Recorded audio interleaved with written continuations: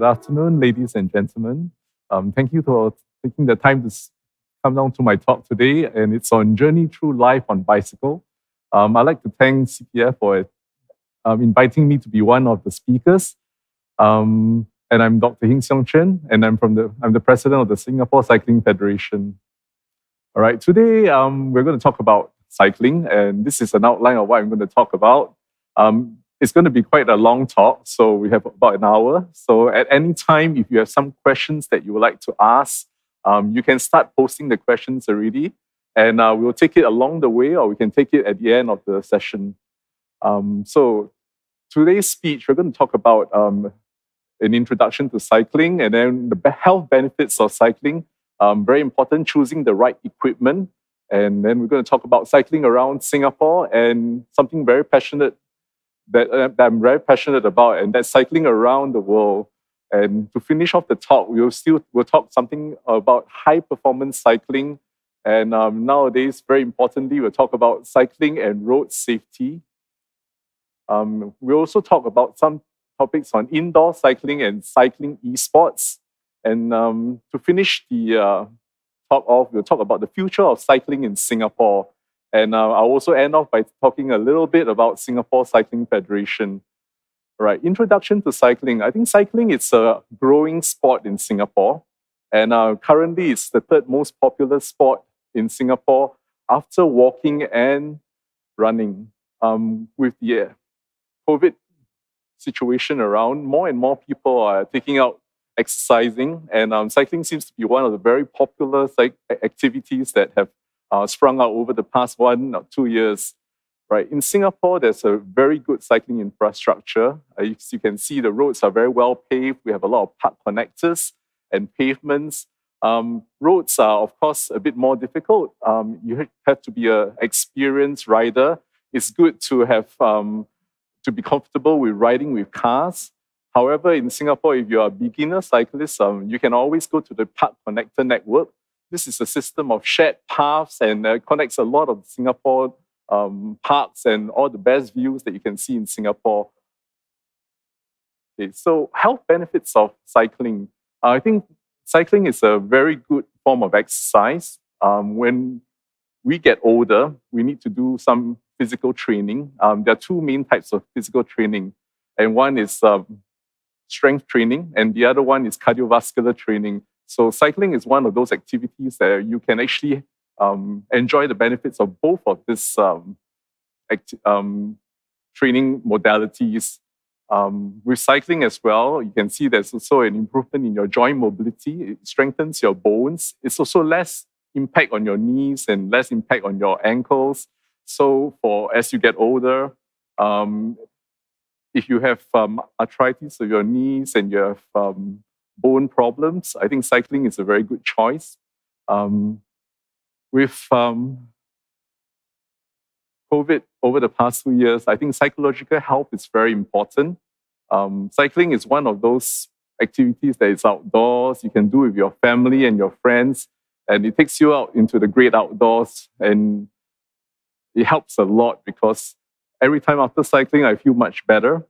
Yep. And with cycling, you can also help to decrease your body fats. And exercise is known to reduce cancers. Uh, this is one of those um,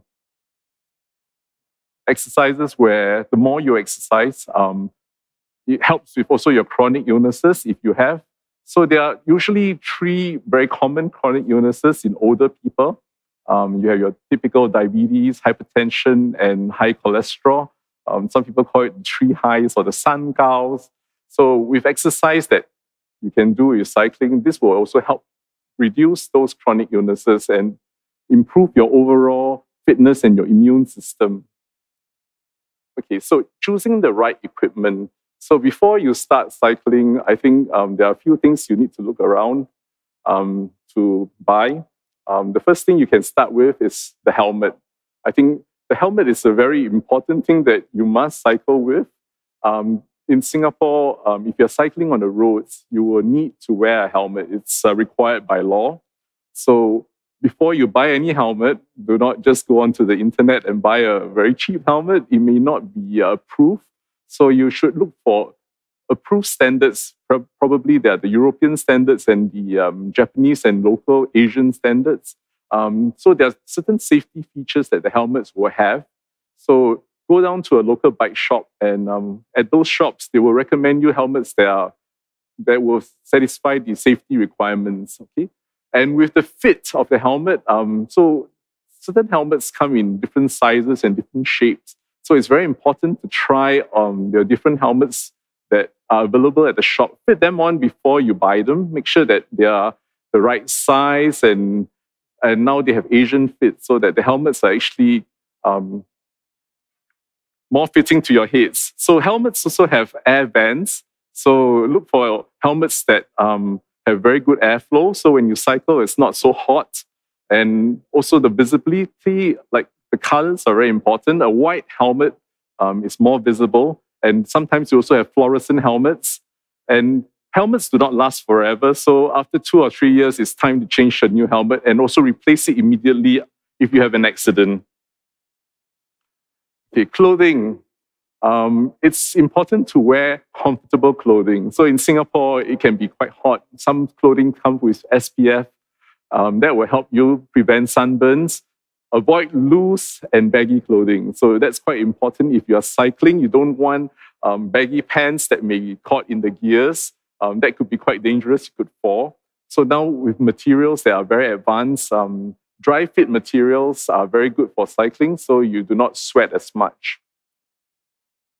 Okay, and the last thing, avoid flip flops and sandals. Um, always protect your, your feet with proper shoes so that when you fall, you do not get big abrasions and cuts. Okay, coming up to the next one, choosing the right equipment. Okay, there are many different types of bicycles that you can see on the road. Um, so it, it's very much your comfort.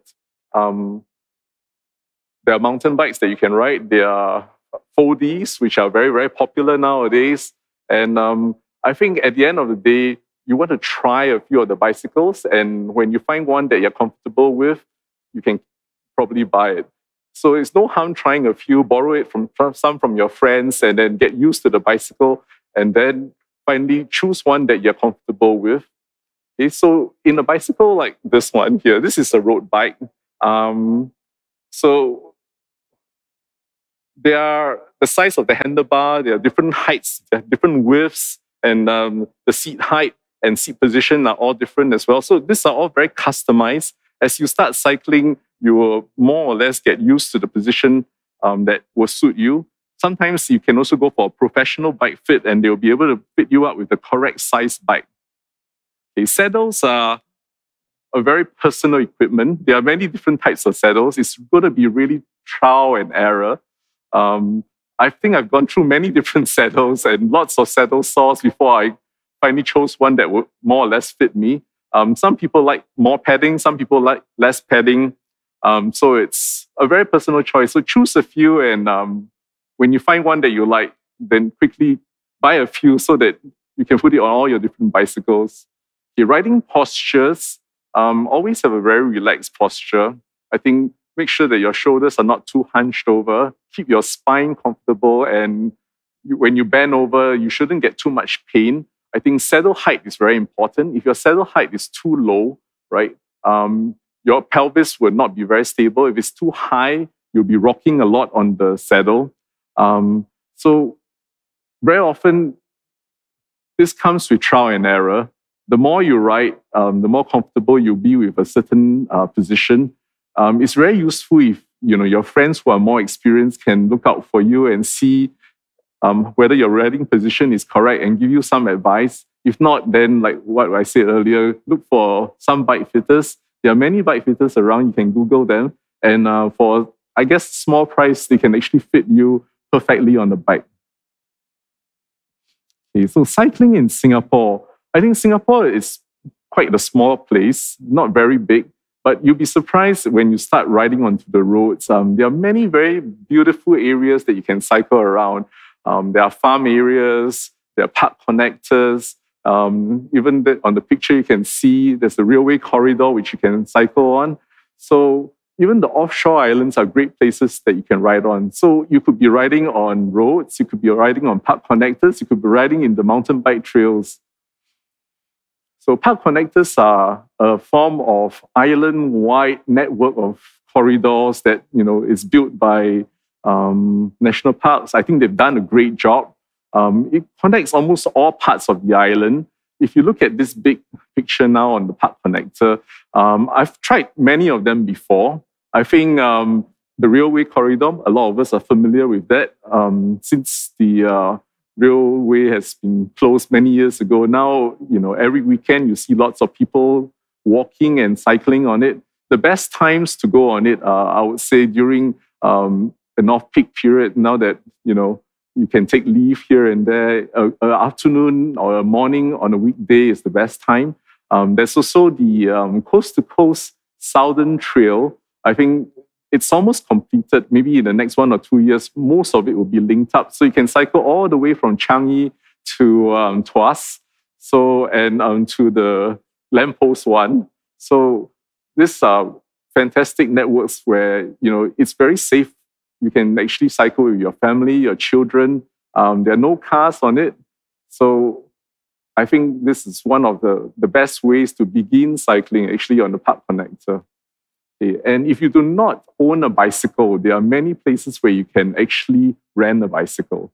So there are app-based rental bikes. I think um, there are a few brands there you can see. There's um, SG Bikes, Anywhere Bikes, uh, Mobike, and also if you go down to the uh, East Coast uh, um, Park on the weekend, you can see there are many bike rental shops as well. So these are very good, um, I'll say, introductions to cycling. So you do not need to actually buy a bicycle immediately. You can actually just start enjoying riding first. And when you get more used to it and you see um, that you enjoy riding it, you can actually go further and buy a bicycle. Yeah. So I'm not sure if any of you have tried cycling on the offshore islands in Singapore. I think there are four there. They are very commonly used for cycling. I've tried three of them. Um, there's Coney Islands, which is just off um, Punggol. You can just cycle in. I think the first picture is the one that you see over there with the wild boar. That's actually Coney Island. Yeah, and then there's Pulau Ubin. Um, you for a small price of um, I think two dollars, you can actually get onto a bum boat, and you can pay another two dollars to bring your bicycle, and you can spend an afternoon in Pulau Ubin riding around. Um, the second picture with a very nice reservoir there with um, people taking photos and bicycles scattered around. That's actually Pulau Ubin. And the, the other one, St. John's Islands and Lazarus Island, um, I think they're connected by a very nice uh, causeway. Um, that's also a fantastic place that you can go cycle. Um, you can take a boat ride.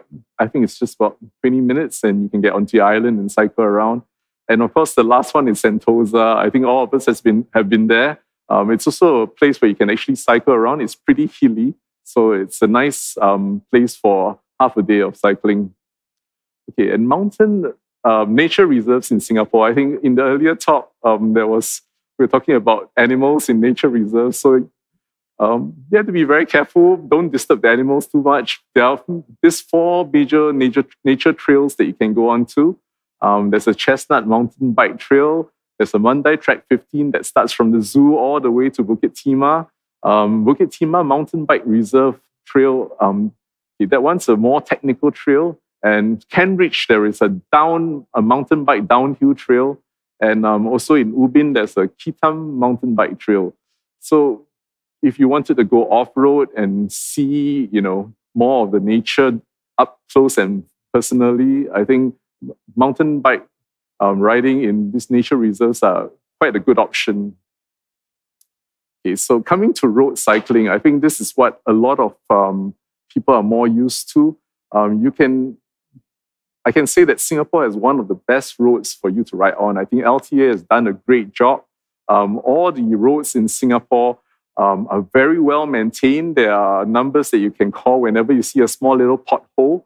Um, I think Singapore is moving towards a car-lite society by 2030. So there's a lot of uh, policies in place and there are a lot of improvement to the cycling infrastructure around housing estates and the city and the country sites. So maybe I'll go through some of the photos there. Um, I think the top photo is um, cycling towards uh, Marina Bay Sands on a Sunday morning. And uh, the photo on the left, it's a team ride with my team, and we're riding along Seletar Dam, um, going towards Serangoon Islands. And the other one, um, the very beautiful quiet road that you see that is um, along Seletar Reservoir. Oh, sorry, Upper Peirce Reservoir. Yes. So in Singapore, there are many trends coming along now. If you look in the social media, um, there's something called doing the round island. So that's in one single ride, you're trying to ride between 100 to 160 kilometer. So you can see the this is a picture of a app called Strava, and um, you can see the part the route taken by um, by someone who's done a really long ride. I think it's almost 160 kilometers there. And um, Lamppost One, which is very famous, um, it's the only lamppost in Singapore that is you can legally put stickers on. So it's a mecca at the moment. Um, I think most cyclists would take, you know, um, a trip down there just to take a photograph. Um, and then also now there's a pattern, uh, there's a new trend of people doing drawing Strava pictures, lions, Merlions, and uh, well, T Rexes. Okay, even and the most amazing thing, um, I think, just last month, Google Maps launched a new cycling navigation feature in Singapore. Um, it's the first in Southeast Asia. So it covers um, more than 600, 6,800 kilometers of cycling trails. So if you were to use your Google Map now and you put it onto the cycling mode, um, it will choose for you the most um, cycle-friendly path. Um, you will be using the roads that have less cars. Um, they will use it, they will use PCNs and they will use um, the railway corridors. Um, and they will not bring you onto an expressway, which is something you do not want to do. So it's available on desktop and it's available on your mobile phone. So you can actually use it on your mobile phone, put it onto your bicycle, and it can take you on the route around Singapore where it's most cycle friendly. Now, moving on to cycle holidays. So, cycling around the world. Um, I think Singapore is quite small, and um, you will not know real cycling until you try cycling overseas. There are cycling holidays are one of the most um, amazing trips that you can plan. I think in your lifetime, you'll be good to organize a trip with your friends to actually go on a cycling holiday. There are many places you can go. I think going back to the map, um, in Southeast Asia, um, most people would like to go to maybe Japan, Hokkaido, uh, or they can go to um, Thailand or Chiang Mai. Um, in Europe, there are many more places like France, Italy, um, and Spain. These are all beautiful places to cycle. Um, it's a great way to actually see local culture and, and also to experience the sights and to meet the people who are there locally. So um, this is um, some photos of me and my wife on different cycling trips. I think there was um, the US and there was Spain um, and there was Italy and there's France. So it's a great way to actually see the countryside and um, and you can eat as much as you can because you'll be cycling a lot every day. Right. So planning an overseas trip, um, there are many things that you need to plan when you go overseas. Quite often, it's good to go with someone who has already gone before. So, of course, number one, choice: choose your dream location. Uh, number two, yeah, get get the right season. So you want to go to Europe somewhere in summer. Um, so it doesn't rain much. The days are long. The weather is very kind and it's fantastic to cycle. It's like 15 to 20 degrees and you can cycle for many hours without being tired. Um, then the second step is to plan your budget. So you can either be self-guided or you can actually go with a tour company. So quite often there are many tour companies that you can travel with. They will arrange everything for you. There's a support vehicle. They will arrange the hotels for you. So if it's the first time you're going on a cycling trip, it will be quite good to actually join the tour company. So, okay, the next one, number three, book your air tickets in advance, pay your deposits, and plan your leave. So, this is something you need to do um, quite far ahead because if you want to plan it well, um, it gets very popular towards the time when you're getting close to it and it's much more expensive. So book everything early. And the next step, the next most important thing is to start training. All right. So cycling in Singapore is not as tough as when you go there and cycle a mountain. So you need to see your itinerary over the next couple of days and see um, how many kilometers you're going to cycle each day and how much climbing you're going to do. And you need to adjust your training program to prepare yourself for your trip and then get ready for your adventure of your lifetime. Okay, some fun facts. Nowadays, um, very hot in um, Europe, um, there are e-bikes. So this really opens the opportunity to everyone to cycle. So you could bring your parents, you could bring your wife, you could bring people of different abilities and they can still do the same route. So e-bicycle, basically, um, there's a battery inside the bicycle. Um, so it makes you um, stronger, makes it much easier for um, your companions to keep up with you.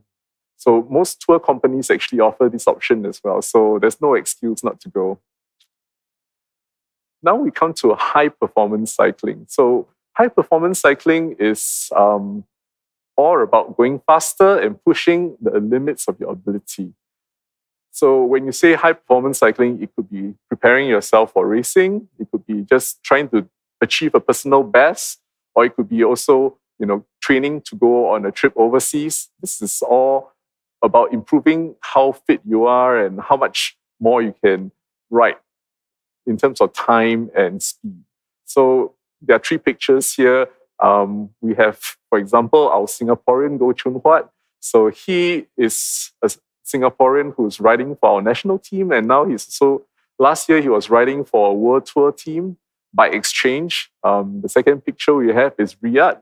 Um, just over summer, the past two months or three months, um, he was there um, doing mountain bike, um, urban cross riding racing. And then we have um, Steve and Kee Meng, who represented Singapore in the Paralympics. So this is all about high performance cycling. So the question now most people ask me is what is high performance cycling? Well, it's all about organizing yourself.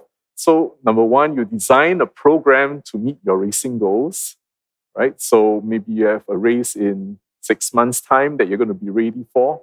So, you design a program that will bring you to peak at that race in six months' time.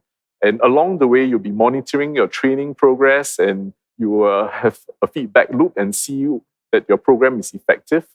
Um, together with your training, you want to have very good uh, fueling. So you want to eat well uh, so that your body can perform better. And then on top of that, you probably want to improve your aerodynamics and your riding position. So now it becomes very necessary to get a good bike fit to make sure that you're very comfortable on the bike and you have the least, least wind resistance when you're riding. And then you would also test your potential. So coming up to that six months, every month you may test yourself. Um, there are ways to test yourself. You could do a watt test, or you could do a, a distance test, or so you can see whether you're improving over the time period. And the most important part, of course, is to stay injury free for the whole um, training program and to make sure that you do not overtrain. There are many pitfalls, pitfalls and one of them is actually overtraining. So, as much as you train, you also need to rest. Okay. So, with all that done, you're ready for a race. You can always sign up for a race or sign up for an overseas trip to cycle. Um, Singapore Cycling Federation, we do organize um, several amateur races a day, uh, sorry, a year. Um, in our next year's calendar, we do see ourselves probably organizing 50 to 20 races. So you can always come onto our website, uh, and look at the races that are available and, and start training for them. Safe cycling. Okay, this is something that we must definitely talk about. Um, because learning about road safety comes before learning to ride. So this is a very useful resource that we have. Um, you can actually go into a Sports Singapore, Safe Cycling Guide. I'm going to provide a link at the end to all these resources. Um, it's a very detailed um, PDF. You can actually go in and read on all the different things about safe cycling. Okay, so before you start cycling, now that we are all quite excited, we're ready to buy a bicycle. Um, and are we fit enough to ride? Are we safe enough to ride? So I think some of people will ask, um, okay, maybe I'm 60 years old. Uh, can I can can I cycle? Um, or I'm 45 years old. I have some chest pain. Can I cycle? So this is a very simple questionnaire. Um, it's called a physical activity readiness questionnaire. So there are seven questions there. Um, I think I should go through them. So, has your doctor ever said that a heart attack or you should not do any physical activity unless you're recommended by a doctor? Um, do you have bone or joint problems that is worse when you exercise? Uh, do you feel pain in your chest when you do certain physical activities? Um, or do you have very poor balance? Do you have dizziness? Do you have you lost your consciousness before? Um, or do you know any other reasons you should not do physical activity?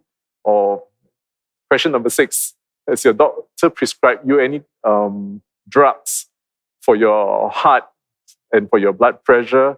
And in the past few months, have you had any chest pain or you're not doing physical activity? So if any of those questions that are on this list, or if you have answered yes to more than one or more of these questions, it's very important that you should consult your family doctor, um, like myself, or your own family doctor before you start exercising, right? So it's very good. I, what I, I, most doctors will recommend is, you know, you probably will do some blood tests, do some treadmill exercises, um, and make sure everything is normal before you start more vigorous ex- exercising. And as you start training and exercising, um, make it gradual, right?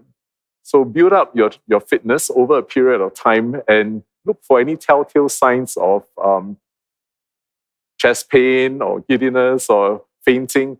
If you do not get any and you, and things look all right, continue training. Yep. So always clear yourself with your doctor before you go on any very vigorous training. Okay, so cycling and the law. Okay, so the bicycle is considered a vehicle as well. So you have to follow the rules on the road when you cycle. So rules and regulations are found in uh, Active Mobility Act and the Road Traffic Act. These are the two things that you have to be very aware of. So just a quick summary, make sure that you have a helmet when you're cycling on the roads. That's compulsory. Uh, when riding in the dark, between 7 a.m. and 7 p.m. and 7 a.m., you need lights. So you need a front uh, white light and a back red light. Okay, and all bicycle riders are required to comply with the same rules as vehicles on the road. So here are a summary of some of the rules. Okay, so recent um, these rules will come in to effect on the 1st of January. Um, this has just been published, I think, about a month ago by the Active Mobility uh, panel's recommendation to L, um, to Ministry of Transport. So if you're a cyclist, um, five bicycles can cycle in a single file, and a maximum of 10 bicycles can cycle when they're riding two abreast. So remember the maximum number of cyclists, 10 on the road. Okay? And this is for motorists. When you're passing a bicycle, uh, make sure you keep at least 1.5 meters from the bicycle. Um, so this this is um, more for the safety of the cyclists. Any closer than that, sometimes you know some cyclists who are not so um, experienced, they may fall or the um, draft from the bicycle, from the truck or from the car that's passing by can actually affect the bicycle. Okay, cycling in groups. Um, the rec- the uh, recommendation now is that um, you need to be cycling um, with a distance of 30 meters between the groups.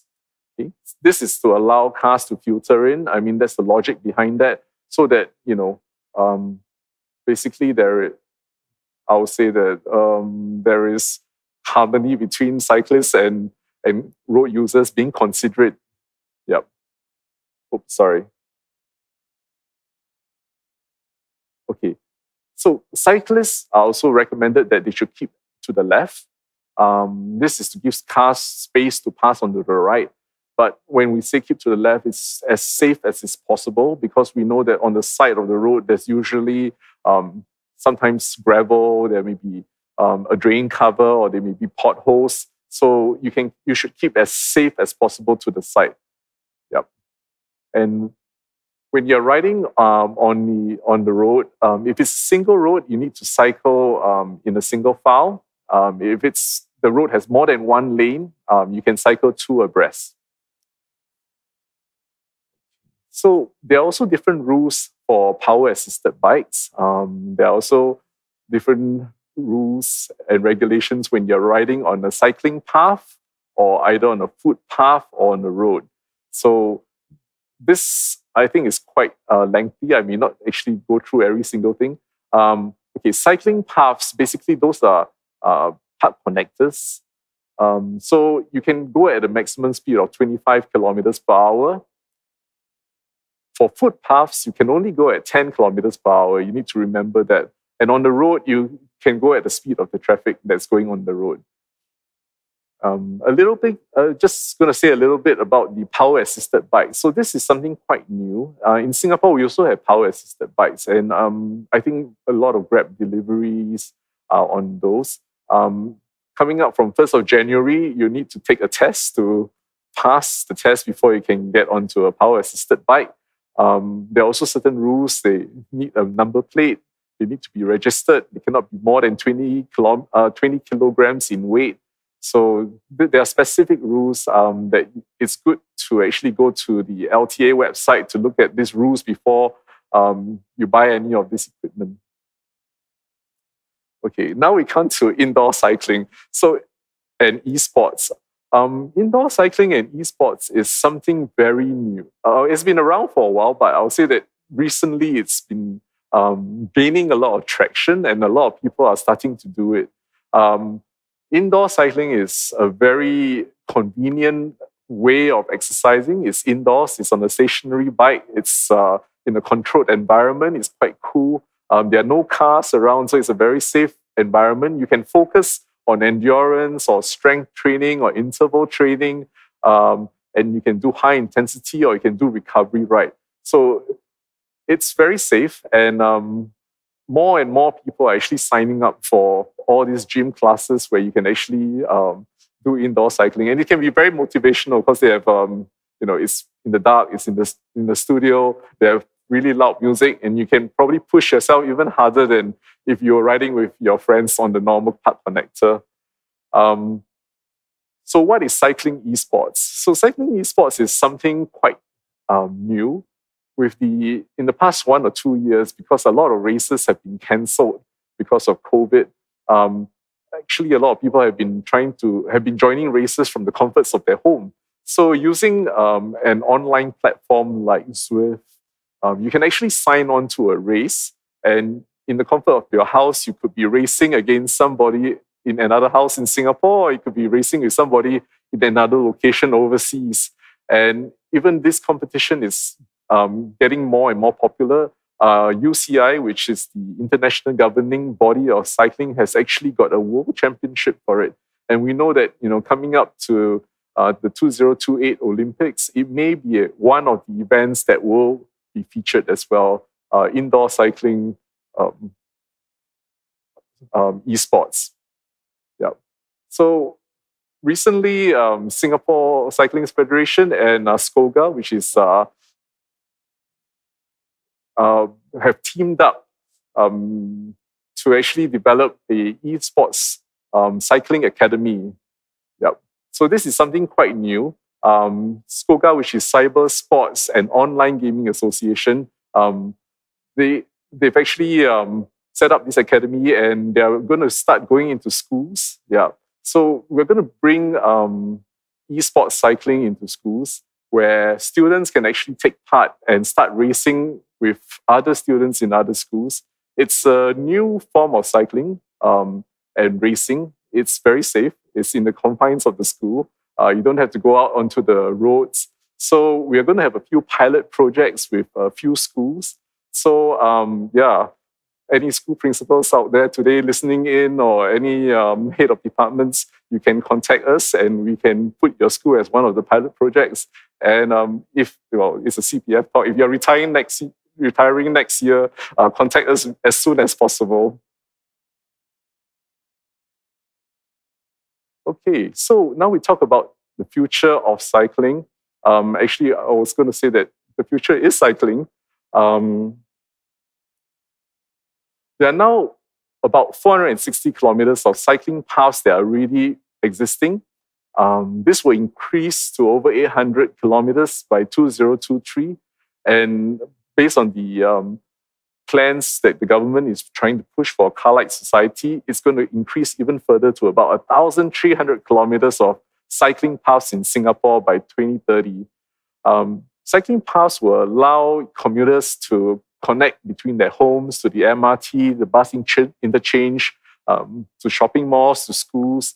Um, it's very useful as the, the for the last uh, last kilometer or the last five kilometer journey. So that that is the we, are think, rethinking um, about micro mobility. So it's going to be very useful for different devices like your bicycles, your personal mobility aids. Um, this can all help people to get around more easily and more conveniently in the last two kilometers. You don't have to drive your car, you know, to the supermarket around the corner just to pick up a bottle of milk. And um, th- this is an interesting example of um, the roads behind, just behind my clinic where I'm working. Um, it's in Ang Mo Kio. It used to be actually four lanes, and I, I remember seeing um, my old patients struggling across, trying to run across the road, and there are cars, there are cars that are cutting each other. So when a car overtakes another car, they go even faster. So, you know, with urban planning and redevelopment, the emphasis now that we can see is actually to increase the, the, the space for sidewalks, um, put in more cycling areas, and put in more communal areas for human interactions. Uh, from this picture, you can actually see that um, now they've actually changed the road to a winding road that is more friendly for older people. You can see more, more grass verges. You can see a new cycling lane, um, and that's just next to the big signboard. So I think moving forward, we can see that our government is actually putting quite a lot of emphasis and putting quite a lot of resources into rethinking about how space is going to be made so that it's more friendly towards, you know, active mobility, whether you're commuting by walking or by jogging or on a bicycle or on a uh, power assisted bicycle. Yeah, so moving forward, I think we're going to see the dynamics change around housing estates and especially um, in places where you can actually now use the bicycle to commute instead of just um, driving from place to place. Okay, so these are some of the resources that um, we I've used for this talk. Um, there's the Singapore um, Sport Singapore Guide to Safe Cycling. Um, there's the Singapore National Uh, Cycling Federation. We have a national cycling syllabus. Um, I also use some resources from NParks, which is Cycling for Fitness, Sports and Wellness. Um, then there's also LTA cycling maps and routes. And of course, the last one is um, our Singapore Cycling Federation website. Um, Singapore Cycling Federation, um, we are the national governing body for promotion and the development of cycling of sports. So you can actually click on any of these resources and um, you can learn much more uh, about what I'm talking about. Okay, so a little to end my, my talk, I'm just going to talk a little bit about Singapore Cycling Federation. Um, as I say, we are the national body that governs uh, the promotion and development of the sport of cycling. Um, we have athletes that represent Singapore. Um, in the picture, our first gold medalist, um, um, Kelvin Sim, who was on the track in um, 2017 in Kuala Lumpur. And um, in Philippines, we have Goh Choon Huat. Um, we were established in 1958. Uh, we are recognized by the uh, Sports Singapore as the national governing body. Uh, we are a registered society with IPC status and uh, two years ago, we received the uh, Charity and Transparency Award um, by the Charity Council of Singapore. We have affiliations to uh, SNOC, Singapore National Olympic Council, um, Asian Cycling Confederation, ACC, and the UCI. So, what do we do? Um, our mandate is basically to help address concerns of the general cycling population. So, um, to the public who are listening in, if you have any questions or any concerns that you have about cycling, you can always um, write to us or email to us. Uh, we do have a lot of links and talks with LTA, with the traffic police. Um, so if there are any concerns, you can definitely bring it up to them and represent your views. Um, I think safe cycling culture is something that um, SCF has been trying to promote over the past um, few years. In the picture there, you can see we recently did a, um, a, a safe cycling um, campaign with um, the Singapore, with the Trucking Association of Singapore. So we actually went out to um, to the um, the trucking associations and we handed out um, um, lots of pamphlets and tried to help educate them about you know the the uh, difficulties of cycling on the road. And at the same time, we also have uh, reached out to the cyclists to educate cyclists about the dangers of uh, being in the blind spot of a lot of these vehicles. These are heavy vehicles where you know they can't see a cyclist if you are in their blind spot. So um, other things that we do, we also organize uh, local competitions and uh, we also promote uh, events, community events, and of course we also do high performance um, cycling and competitions. So I come to the end of my talk. So thank you very much for your attention. Uh, we're going to take some questions now. So I think I can see quite a few questions here. Okay, so the first question that we have is, uh, what is your advice on how to start cycling at 60 years old or over 60? Um, the question, the, uh, the person asking the question said he has cycled before but never on the road. Okay, uh, that's a very good question. Um, I think the first step, if you can cycle already on um, the park connectors and in different places, uh, you really have the basic skill to start going onto the road. I think um, it would be a good idea if you could find a friend to go with or some friends to go with who already cycle on the roads, who are familiar with roads. Um, there are times where it will be better to cycle on the road. So always try and cycle off the peak hours. If it's the first time you're trying, um, you can cycle on a Sunday or in the Sunday morning when it's where the traffic is the lowest, and uh, you can choose certain roads that have less um, traffic. So if you can get friends who can bring you, that would be the best. Okay, second question: How do you find your passion for cycling? Um, I think I started many years ago. Um, I started cycling and I really enjoyed it. And but there was still something missing. I think you can't cycle alone. So I managed to rope my wife into cycling. It took a long time. Um, I bought her a bicycle and left it in the house. Uh, she never started cycling. She always looked at it. Um, so the trick is to always involve cycling with fun. So I would take her out on a short cycle, but we always will end up in a cafe um, so finally, she started cycling. And the more she cycled, she actually enjoyed it. I think if you enjoy um, cycling, the passion will come with it, especially if you do things like trips and cycling holidays. Um, you will discover a lot of things that you never discovered about cycling. So that will bring more passion into your cycling. Okay, where can I learn to cycle as an adult if I've never cycled in my life? Wow, okay. Um, I think it's not difficult. you just need some courage. Um, if you want to start trying, I think um, half the battle is won. Um, I have to advertise a little bit now. Singapore Cycling Federation does have a safe cycling um, program and also a learn to cycle program. So we have already developed the national syllabus. There are part one, two, and three. You'll be starting with part one. So we will actually teach you about all the basics about cycling, safety, and we will actually teach you how to start balancing. Um, so far from the course um, syllabus that I've seen and their track record, uh, most people can cycle on the first outing within two hours. So um, we're not the only one. I think if you Google, there are many other companies that do it. So you can also um, look for those companies. Okay. Uh, next question. If you are cycling on the roads, you must have lightweight bicycles and road wheels. Wow. Um, if your bicycle is a Trek 3000 mountain bike, who would, uh, what would you do? Would you change the tires? Okay, um, I think cycling on the road, um, you can have any bicycle, but if you want to go faster and you want it to be more efficient, then it is true that a lightweight bicycle will help. And if you have road wheels, it will also help.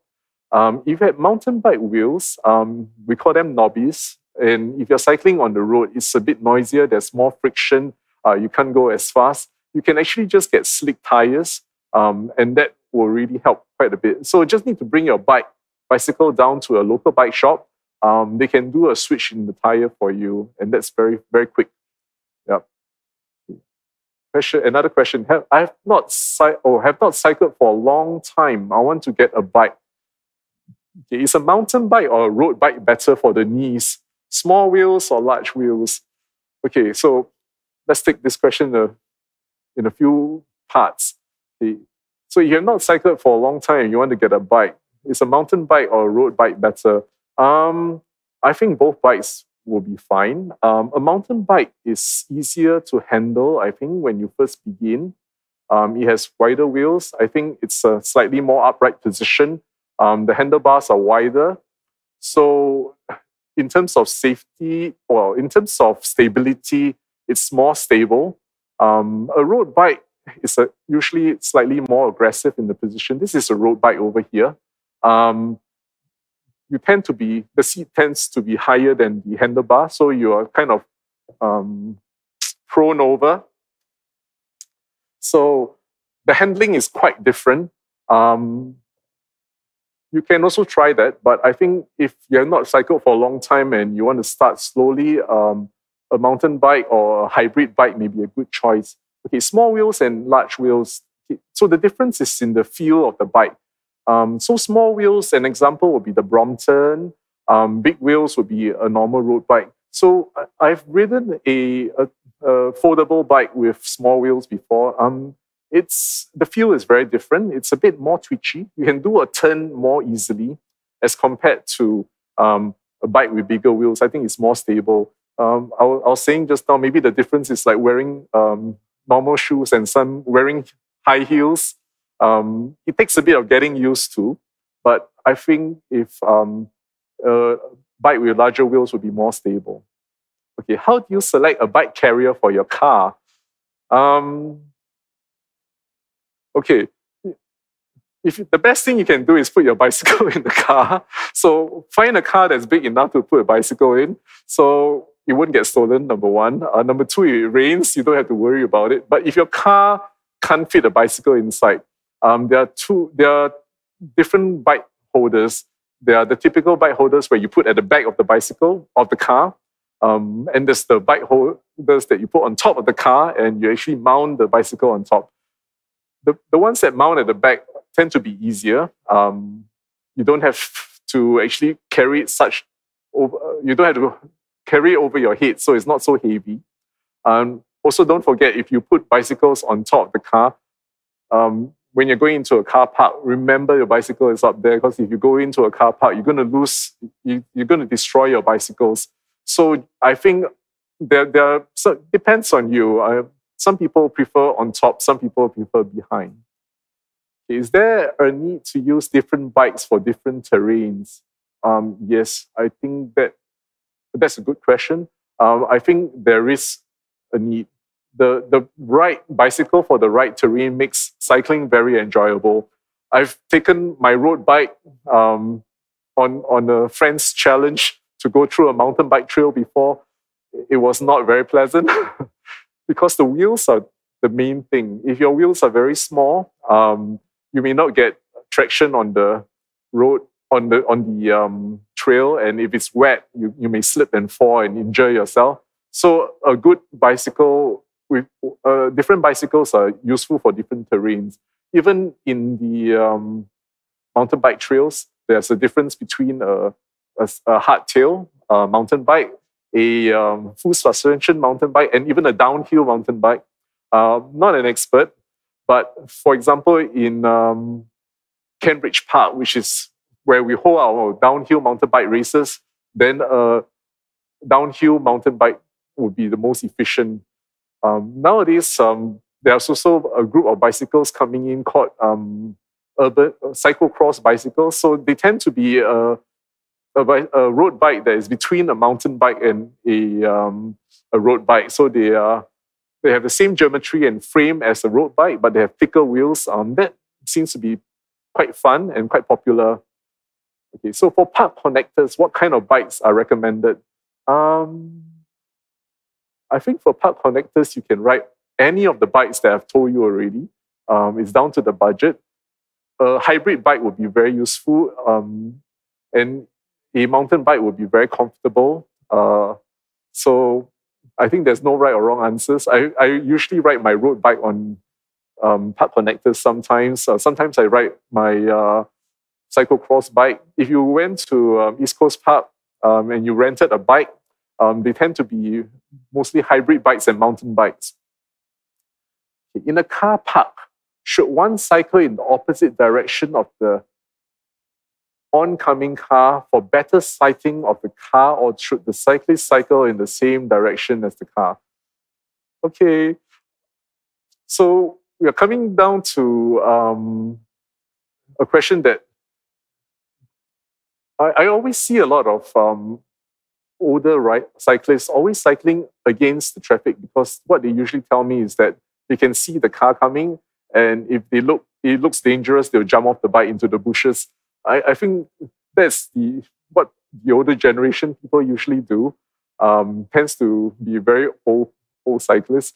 Um, but now we know that we have to actually follow road traffic rules. So whether it's in the car park or as long as it's a road, you have to cycle in the correct direction, in the same direction as the flow of traffic. And if it's a one-way street, you're not supposed to cycle you're not supposed to cycle against that flow of traffic. But being a cyclist, uh, being a bicycle, you can actually cycle on the footpath, and that is both directions. Is license required for cycling on cycling paths? Um, no. At this point in time, uh, no license is required for cycling on the cycling path. Okay, we got time for one last question.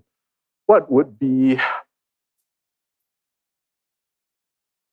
a good versatile bike to buy for overseas trips? Oh, I like this question.